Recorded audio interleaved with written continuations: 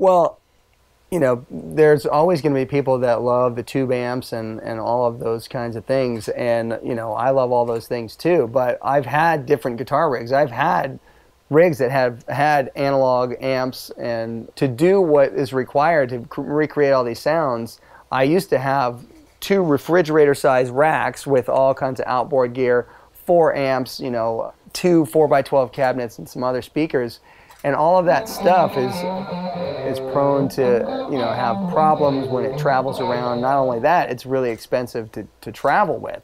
And I'm actually happier with the sounds that I get from the digital rig versus what I was getting from the analog rig. Now with the, the digital version, it really just is much more balanced. So for me, it's a great improvement all the way around because I have so much more flexibility and there's parameters and things that you can do and control in the digital world that are not possible at all in the analog world. So for me, it's it's like a whole brave new world, and it's very exciting, and, and I'm inspired by it.